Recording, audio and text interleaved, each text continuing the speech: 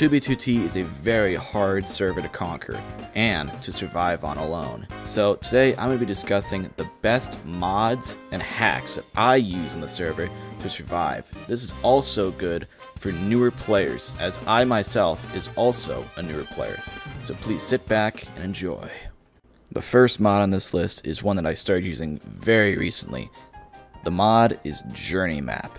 Journey Map essentially makes it to where you can load a overhead image of the entire map of where you've been and the chunks you've loaded before. This helps me know where I've explored before, if I've been to a certain area on 2B2T before, and on how I can help to see unloaded chunks, since the map actively loads chunks that you don't render. You can also set waypoints with Journey Map, so in case someone sends you coordinates to a base to check out, or griefing, or overall just a place you'd like to go, you can set that waypoint and go on your way. I highly recommend this mod for explorers or base hunters that want to explore the server in that nomadic lifestyle. So please, if you want to have this mod, I'll have it in the description to go check it out. Tired of taking a break from 2B2T to get up and do something, and then come back to see yourself waiting in the queue again, just to wait there for hours on end just to get back into the server? Well, if I got the hack for you, my friend. Anti-AFK. This is perfect if you cannot afford queue priority. All you have to do is set it up to your liking, set a delay time on when you think it should start, depending on how long you've been away from your keyboard for. It can range from anywhere from 5 seconds to 3 whole minutes, which is perfect because you never have to worry about turning anti-AFK on, since it'll do it automatically.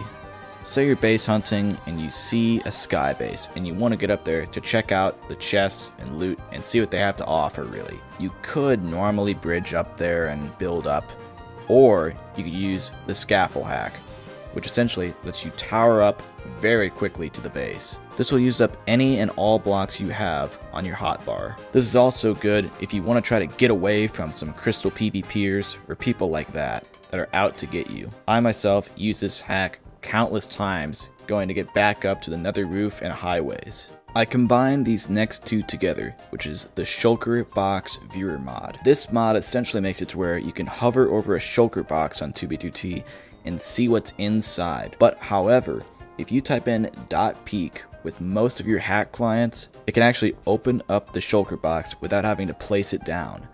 This is also good because if you have illegal items stored in that shulker box, the 2B2T plugins will actively try to erase those illegal 32Ks or items that you shouldn't have. So this hack is perfect if you don't want to open up shulkers and risk losing those items. Baritone is a perfect mod if you want to go somewhere without actually putting in the work. All you have to do is type in the commands and it'll simply go to wherever you want and plot a path all you have to do is enable kill aura, give it some tools, and lots of food, because it's going to be a long road. Not only that, but Baritone has also been used in several projects for the server in its history before. Many people on 2B2T use Baritone every single day, not only for going places, but also for mining, mining out certain blocks, getting materials, and also, in some cases, if you're crazy enough, they designed Baritone for PvP, but that's for another day.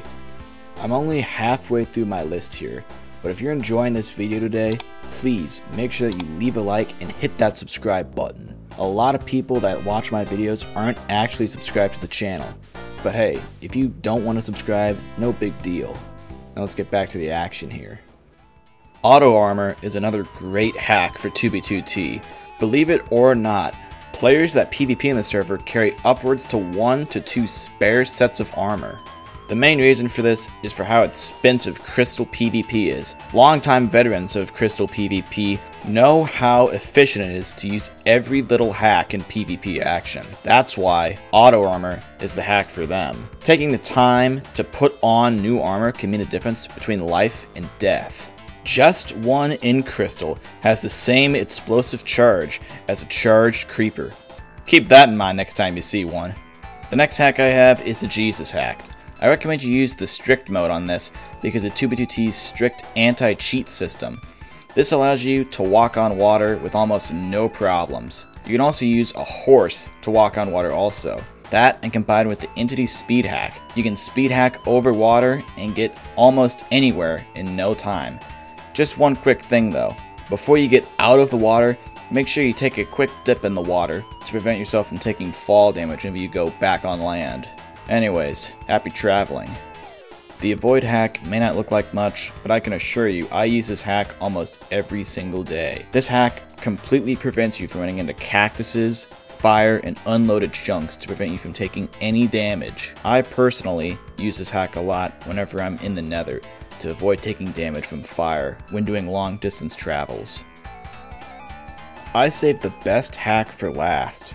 I haven't seen one person on 2b2t go without using this hack in base hunting, in building, or overall anything. The search hack. I haven't seen anyone on 2b2t not use this hack at least once. Everybody uses this hack. From noobs to 2b2t legends, all you have to do is select the blocks that you want the hack to highlight and it will automatically address it with a tracer pointing to the block. This is great for seeing blocks that you wouldn't normally see, or you could use it to find blocks and bases for underground bases and sky bases. If you enjoyed this video today, please make sure to leave a like and hit that subscribe button. Also, be sure to follow me on TikTok, and if you're a friend of mine, be sure to go on my Snapchat and request to join my YouTube private story page to stay updated on when I'll be uploading new YouTube content and Minecraft content. But other than that, that's it for today's video. And if you want to play on 2b2t, be sure to use some of these hacks. And who knows, they may just save your life. Anyways, I'll see you guys in the next video.